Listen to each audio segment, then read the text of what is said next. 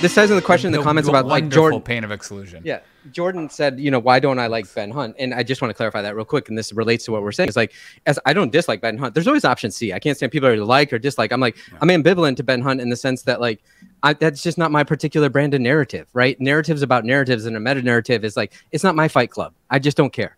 And so, like, but at the end of the day, like you're saying, we all have narratives, right? And to have a narrative, you're essentially a zealot. And you're saying, like, you even started using words like we have evidence, we have proof, like all these things. Where here's my question for you is like almost the opposite sense. Like, you're you're talking about things like you know we're here almost like the way Silicon Valley does is like we're here to save the world or improve the world. Like, are you really? Because there's a lot of like elitism and Schadenfreude to like uh, waiting for the comeuppance of the 60-40 crowd because you're going to step in and crush their dreams. Like, so I, I worry about that. Or more importantly, to make a specific point on it, I know how you guys construct a portfolio. So like, let's address like what if you're wrong? Like, if we're all saying there's this fourth turning and all this stuff's going on and we're about to experience this 70s or 40 style inflation, like, what if you're wrong?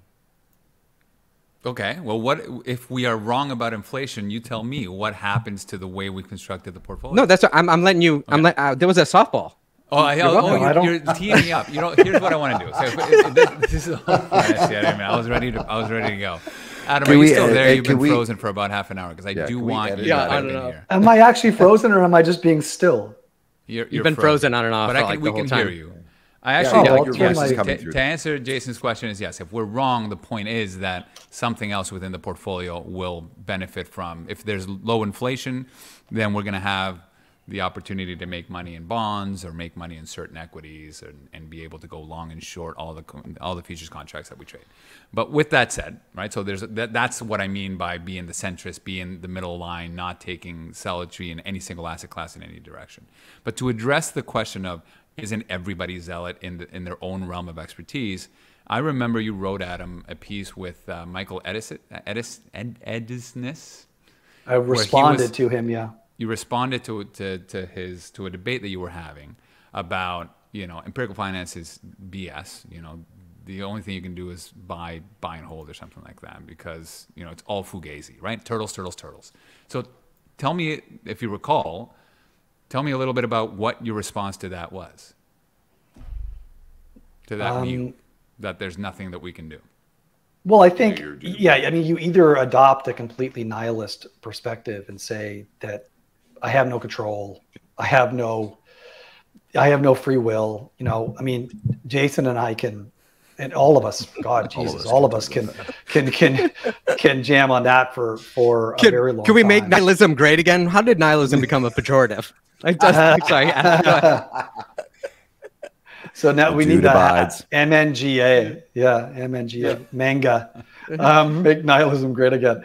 Um, but you know, I think we sort of have to act as if we have we have free will. We we we we have decisions to make, right? Like not deciding on a portfolio allocation is a is an allocation, right? Because your money sits in the bank or your money sits under the mattress. So we all are required to act.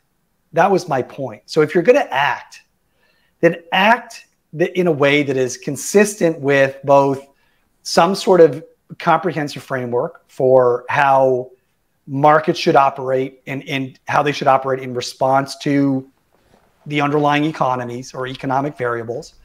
And when the when the theory or some sort of generalizable framework doesn't give you enough information to to um, to make a good decision, then you you have to sort of lean on the data.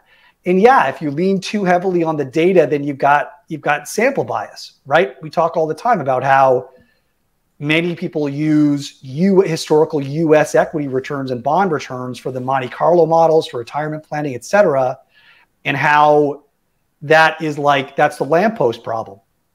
Because that data is available so readily and it has such a long history everybody uses it right?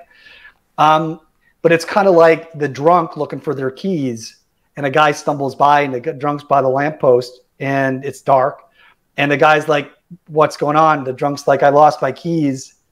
And he the, the passersby says well did you lose them here by the lamp and the drunk says no but this is where the light is. Right? It's exactly the same thing for us um, stock and bond historical returns. So you're using these long-term data for your simulations and to draw conclusions, but you're not realizing that this is one sample and that if you were to use a much broader global sample that there are countries in the world that have where their their stock markets and bond markets have been completely wiped out that the yep. global sample has very different distribution properties than the US sample right but once you sort of recognize I need to use data to help me make this to guide this decision of course you need to like use as much data as possible be as thoughtful as possible about the biases embedded in that data but eventually you need to be guided by the data